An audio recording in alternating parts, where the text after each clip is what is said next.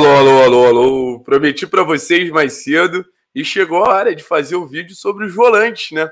Porque Eric e Léo Citadini, meu amigo, que dupla. Que dupla. Como encaixaram nesse modelo de jogo do Atlético, né?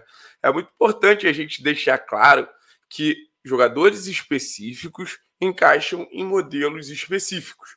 Então, se vocês pegarem aí o canal, já teve vídeo da gente elogiando muito, muito, muito, muito o Christian, falando da importância dele dentro do modelo de jogo que o Antônio Oliveira utilizava. A questão é, o modelo de jogo mudou e o Christian não conseguiu se adaptar.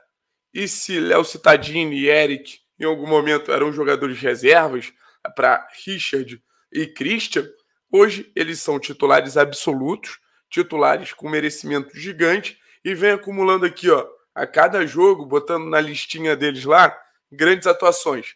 Toda partida o Eric bota mais um jogo, toda partida o Citadini bota mais um jogo. E a gente vai falar sobre esses dois personagens que chegam no momento decisivo, sendo extremamente importantes, seja para os confrontos no Campeonato Brasileiro, seja para as grandes decisões. Porque, cara, eu vou te falar assim, é, volante é um termo que eu nem gosto muito de utilizar. Eu acho que volante é algo que ficou muito ali na década de 90, começo dos anos 2000, porque a posição ela foi evoluindo, né? A graça do futebol é essa. É um esporte que ele é muito mutável. Existem grandes personagens que trazem inovações e a gente tem que acompanhar essas inovações, senão vão é, ficar com é, situações, com mecanismos muito obsoletos, sabe? E, e a posição de volante, eu acho que ela passou por uma grande alteração ali no começo da década de 2010, muito graças a um personagem chama, chamado Pep Guardiola, que fez o meio-campo com Busquets, Iniesta e Xavi.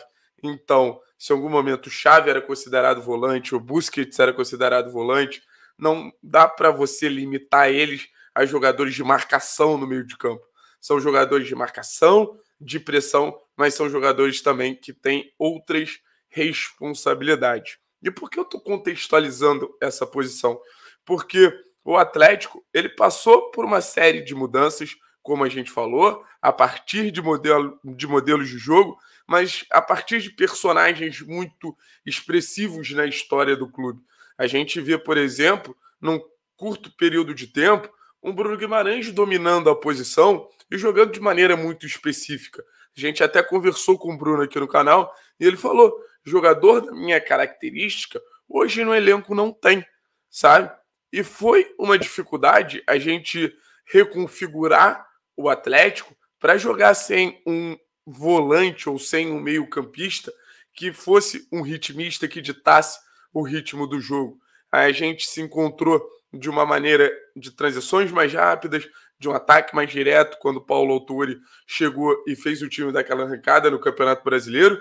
E naquele momento ali, você tinha a proteção diária do Richard sendo fundamental, um jogador bom na bola aérea, um jogador que recuperava a bola de maneira muito fácil, mas tinha uma certa incapacidade na hora de transicionar, na hora de levar o time da defesa para o ataque. E tinha o Christian do lado dele, que tinha essa capacidade de transição mas tinha a marcação um pouco mais frágil, como um defeito, assim.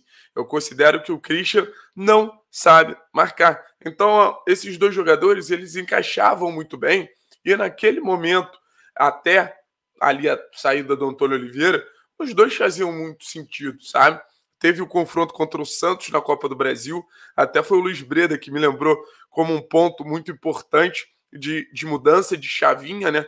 É, que o Atlético voltou a jogar com três zagueiros, voltou a jogar de maneira mais reativa depois de um período grande, tentando ter a bola, tentando criar mecanismos com os jogadores por dentro, é, gerando os triângulos, tentando valorizar essa posse. E Richard e Christian faziam isso muito bem, mas a partir do jogo contra o Santos, a gente muda o esquema tático e com isso muda o modelo de jogo e muda a função dos volantes. A gente tem que separar muito bem função de posição, sabe? A posição é mesmo, mas a função é completamente diferente. E a gente já deu o exemplo do, do Barcelona, do Guardiola, e agora eu quero puxar o atual campeão da Liga dos Campeões da Europa. Chelsea. Chelsea também joga num 3-4-3, ou se você preferir um 3-4-2-1, sabe? O Chelsea tem dois jogadores ocupando o espaço de volante, que eu acho que eles são muito é, exemplares para quem gosta de jogar nesse esquema. São dois jogadores referências, assim. Eu estou falando de Jorginho e Kanté, que se discutiu até se eles não eram os melhores do mundo. Tamanha influência que eles tinham ali dentro daquele contexto. E qual é a grande característica do Kanté e do Jorginho? São dois jogadores que fazem basicamente um pouco de tudo. São todo campistas. São jogadores que sabem proteger a área, sabem é, tá ali no momento defensivo, fazer grandes perseguições, atuar ali junto com o trio de defesa. São jogadores que sabem transicionar e sabem, são jogadores que sabem atuar na fase ofensiva. Mas eles principalmente precisam ocupar aquele espaço de meio campo, porque você não vai ter tantas, é, tantos jogadores, tantos personagens ali, tantas possibilidades ali, sabe? Então, são dois jogadores, mas precisam ocupar o espaço de três. Eles precisam sempre estar se fazendo muito presente. Eu acho que é o caso de Eric e Léo Citadinho. Não são jogadores de dominar a bola, parar, pensar, de tal ritmo do jogo, como já se imaginou que um dia eles fossem. Quando Bruno Guimarães saiu, o que que fizeram? Sai Bruno Guimarães, entra Eric. Não é a mesma coisa. Os mecanismos são diferentes, as características são diferentes, sabe? Não é um meio. O Bruno encaixaria no meio-campo do Guardiola. Eric e Citadini encaixam no meio-campo do Tuchel, sabe? E não é do Valentuchel, do Valentuchel também, mas do Tuchel do Chelsea. Porque são jogadores que protegem muito bem, e eu acho que o fato do Atlético basicamente marcar com sete jogadores, porque Nicão, Terence e Kaiser ficam numa zona de poucas ações defensivas, então sobra para o trio de zaga, para os alas e para os volantes marcarem, eles têm uma responsabilidade defensiva muito grande de proteger. Então, em algum momento, se imagina, ah, o Atlético está cedendo muito espaço no meio-campo. Não, o Atlético não tem que preencher o meio-campo. O Atlético precisa ter é, uma, um, um grupo ali, um bloco defensivo muito compacto. E eu acho que esses jogadores entendem isso muito bem, se aproximando do trio de zaga, protegendo a área. Cada vez é mais difícil entrar na área do Atlético. E óbvio que o trio de zaga tem uma responsabilidade muito grande quanto a isso, mas esses jogadores também têm.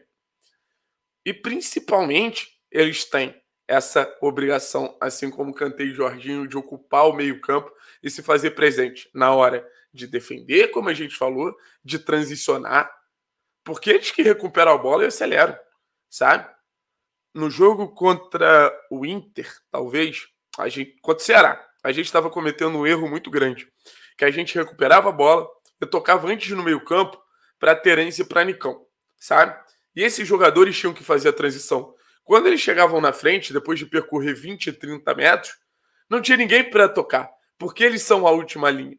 Então são nossos dois internos, Eric Citadinho, que tem essa responsabilidade maior de transição. Os alas também podem fazer, mas Eric Citadini, que tem essas características, que tem uma qualidade física muito interessante, são capazes de oferecer isso para o jogo, sabe?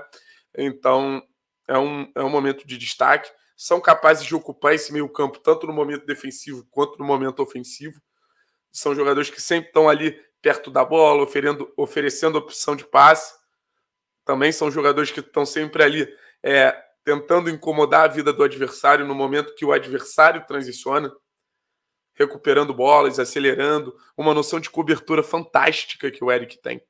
Fantástica, sabe? Me lembra muito a noção de cobertura do Casimiro, enquanto o Citadini se destaca pelas perseguições. Se você vê um jogador que gosta de carregar a bola correndo na nossa direção, o Cetadinho naturalmente vai acompanhar ele e vai impedir que ele carregue essa bola de maneira mais tranquila. Isso é muito valioso, muito valioso.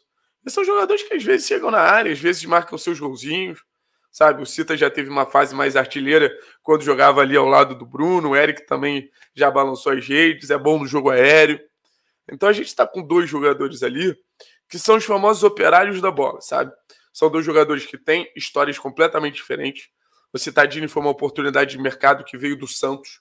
É um cara que já cresceu num clube grande, jogava como meia e teve que se readaptar no Atlético para virar esse jogador voluntarioso, esse jogador que tem um espírito de garra muito grande, porque é, sabe que não é o melhor, mas em vários momentos se mostra o mais útil por ser extremamente inteligente na hora de aproveitar os espaços e na hora também de cumprir a função que o treinador deseja para ele, sabe?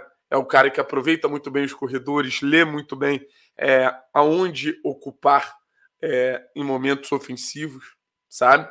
Então, Cita é, é uma história muito legal, porque ele poderia se limitar a ser um meia qualquer, como era no Santos. Rodaria aí numa Série B, mas virou um grande volante, um grande todo-campista, sabe? E o Eric é uma revelação do futebol paranaense. Quem nunca viu o vídeo do Eric lá no lá pelo PSTC entrando na Arena da Baixada todo orgulhoso, tá ligado? É uma cria do futebol paranaense, foi galgando PSTC, Operário, Atlético e tem tudo para ser um dos melhores volantes do futebol brasileiro, se já não é. O que o Eric joga hoje, não sei se tem muitos volantes no futebol brasileiro jogando não. Juro para vocês, não sei se tem. Então o que eu convido a vocês é, vamos abraçar com carinho essa dupla de volantes, porque elas vão ser muito, muito, muito, muito importantes nessa reta final de temporada. E eu sei que o Atlético busca um volante para a temporada que vem. Mas, cara, do jeito que os dois estão jogando, esse volante que chegar vai acabar ficando no banco de reservas. Beleza, pessoal? Quero saber o que vocês acham de Eric Stadini, porque é uma dupla que vem me encantando. Quero saber se a torcida também acompanha esse sentimento de admiração por esses dois fenômenos do meio-campo do Furacão. Valeu? Tamo junto a nós, rapaziada. Encerrando mais um vídeo aqui. Daqui a pouquinho a gente está voltando. Abraço, abraço, abraço. Fui, valeu, valeu.